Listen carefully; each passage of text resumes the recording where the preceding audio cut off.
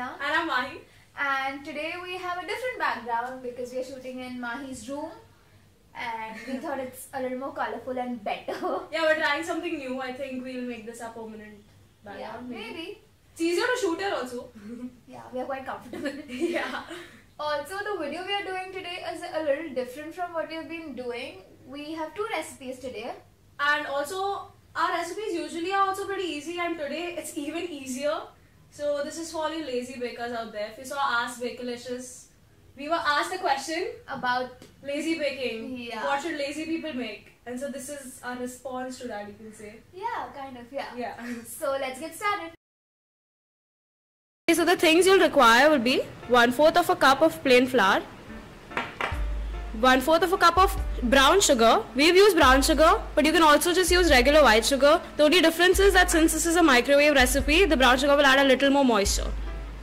One fourth of a cup of milk,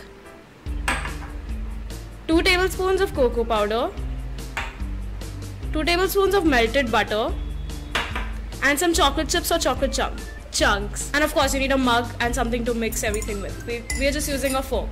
So this is insanely easy. All you have to do is just mix everything together except for the chocolate, which will go on top. And here we're just going to start with the dry ingredients first. The flour, the cocoa powder, and finally the sugar. Give everything a good mix. And then just add in all the wet ingredients.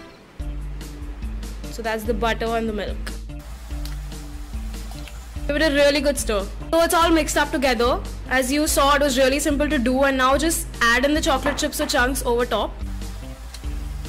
So this needs to be cooked in the microwave for about a minute, but that's at an 800 watt power setting. If your microwave is more powerful than that, then just check after 30 seconds and keep checking it at 30 second intervals.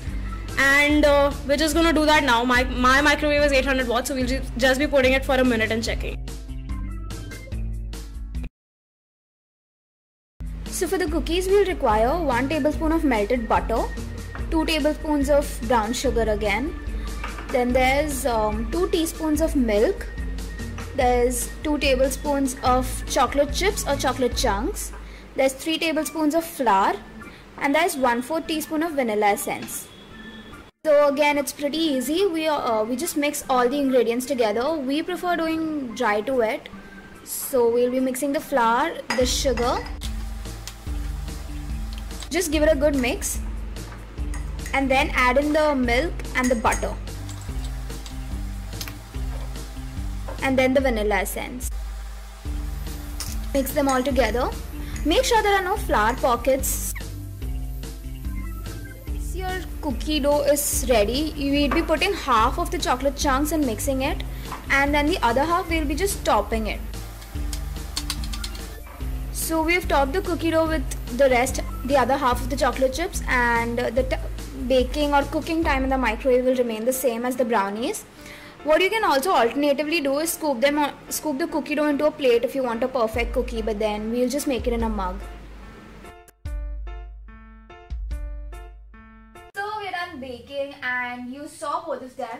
They look similar, but they were not. They, They were, were not. pretty different. Obviously, the texture, like the cookie was harder, and the brownie. It was pretty much exactly like a cookie texture and a brownie texture, and it tasted different as well. it's yeah it's very different taste wise uh, she liked the cookie better Yeah, i like the brownie i'm a brownie person anyways so and we took about two minutes tops to make it totally. yeah so, So, you know it's really great. simple yeah and i think even people hostels who only have access to microwaves and not ovens i think it's great for them too yeah, these are very basic ingredients which you can have on hand. Literally, if you have a chocolate craving, these are things you can possibly have at home. These recipes don't even have eggs in them, so it's pretty perfect. yeah so Hope you liked the video, and if you did, give it a thumbs up, subscribe, share, all those other things. do comment which one you like better do you like brownies or cookies and also follow us on our social media. The links are down in the in the description. And also we have a facebook page. It's facebook.com slash bakelicious101 so do like it. We post updates regularly. Pretty regular. So And I yeah, think that's it. yeah. So, we'll see you next time. you. bye